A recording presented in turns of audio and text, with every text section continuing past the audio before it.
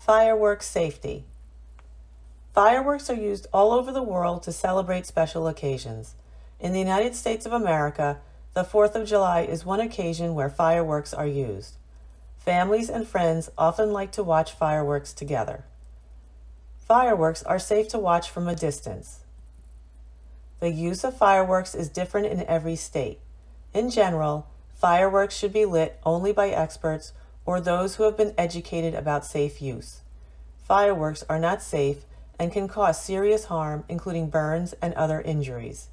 The safest way for me to enjoy fireworks is to attend public fireworks displays organized by trained professionals. Many towns have places where people gather to celebrate together. There may be places to watch fireworks in places that are less crowded. Some fireworks shoot up high in the sky.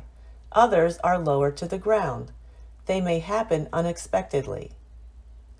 The whistling and booming sounds and the colorful lights may be startling. If I don't like the sound, I can cover my ears with my hands or use earplugs or ear coverings like headphones. I can also listen to music using headphones.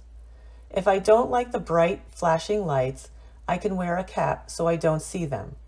I can also cover my eyes or look away. If fireworks bother me, I can ask to go inside a building or a car so that the noise, lights, and vibrations don't bother me as much. Instead of using fireworks, glow sticks can be a fun alternative. Many people like to use sparklers, but these can be dangerous because they can get very hot. We value the expertise of our partners in safety who have demonstrated their commitment to inclusive, healthy communities.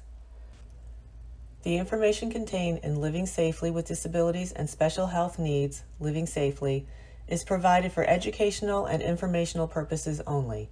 The content contains general information and may not reflect a person's individual needs or current legal developments or information. Children's Specialized Hospital makes no guarantee, either communicated or implied, about the accuracy, application, appropriateness, or completeness of the information within Living Safely or at any other website to which it is linked. Children's Specialized Hospital specifically relinquishes all liability with respect to any person's actions, taken or not taken, based upon any or all of the information or other contents from Living Safely. This initiative was funded in part by an Inclusive Healthy Communities grant from the Division of Disability Services, New Jersey Department of Human Services.